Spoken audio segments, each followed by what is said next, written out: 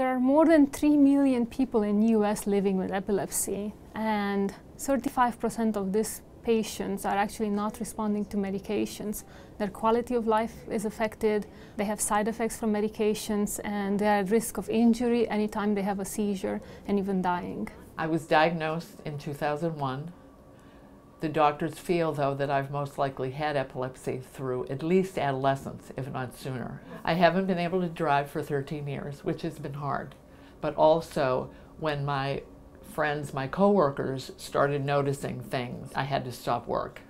Till a few years ago, seizures used to be treated with uh, either chemicals uh, or surgery or, or diet or uh, uh, electrical devices that were implanted in the shoulders and then sending electrical impulses to the nerves in the neck. But RNS is implanted in the skull and it detects the onset of a seizure directly from the brain and then sends in a tiny electrical impulse to stop the seizure just at the beginning. This is an implanted brain stimulation device that was approved by the FDA about one year ago. And we've uh, successfully implanted um, patients now here over the last several months. We can teach this little device how to properly detect the seizure signature. It feels when a seizure is coming on, and then the device will zap it.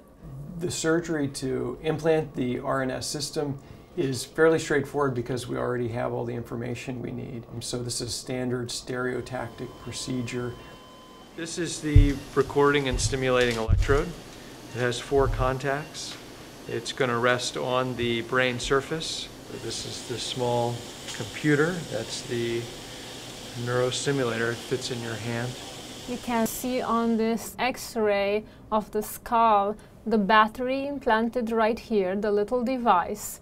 And there are two deep electrodes, one that is going on the left side and one that's going into the right side, targeting uh, the areas that started the seizures. Every single day, what she does, she will use the wand and download the data from the device into the computer approximately once a week, she will hook up the computer to the internet and all this data will be transferred into what we call the patient management uh, database. The device does not work right away. There is a lot of work involved from the physician to teach the little device how to deliver and what to deliver stimulation on.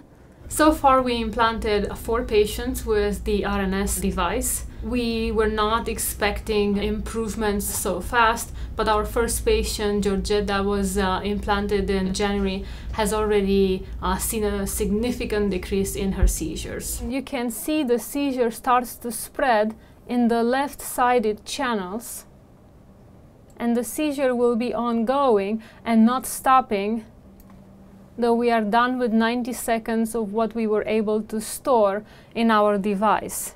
We adjusted the parameters and reprogrammed the device to deliver the stimulation much faster and to be able to detect much better the seizure signature.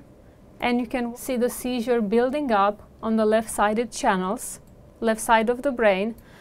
And we were able to stop the seizure very early I think even a small decrease in seizures would, would improve the quality of life a lot.